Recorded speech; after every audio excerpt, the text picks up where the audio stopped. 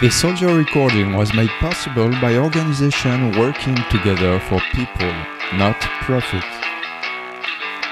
In old days, what people did was they made these primers radioactive, and these radioactive primers here would then, the, the gel would be held up against a piece of x-ray film, and you would see where little radioactive bands were. That's how you could visualize the. Because it turns out you have too little primer to see it even with my fluorescent dye, but a little radioactivity.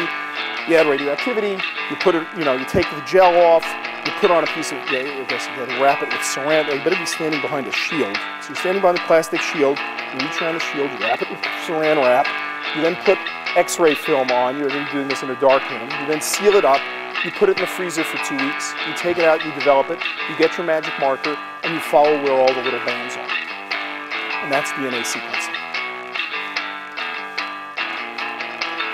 It's cool, at one Nobel Prize It's also like really tedious. So little tricks were done to speed it up. So nice pieces of engineering. Instead of visualizing our DNA, faster DNA sequencing,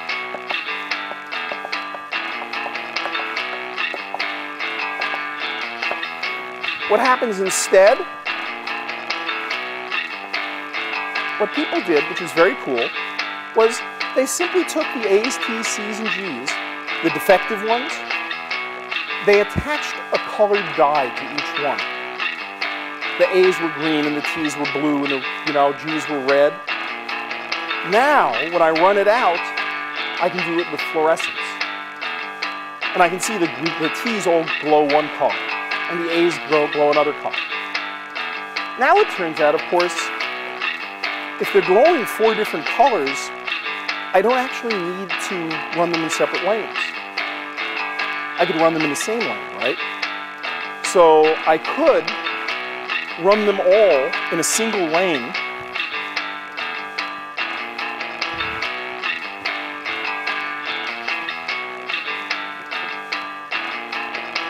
and I'd see T's, and A's, and G's.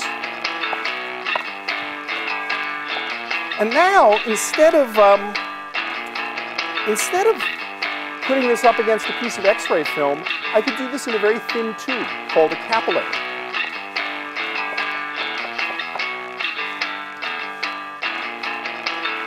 And instead of holding it up to an x-ray film, I could just put a laser detector. I could turn on the electricity and watch the fragments go by and just look at it with my laser detector. Shines a light, I say, oh yeah, green, red, blue, blah, blah, blah, blah, blah, blah. That's the sequence. Would have been made somehow. If I hadn't assembled myself, I'd have fallen apart by now.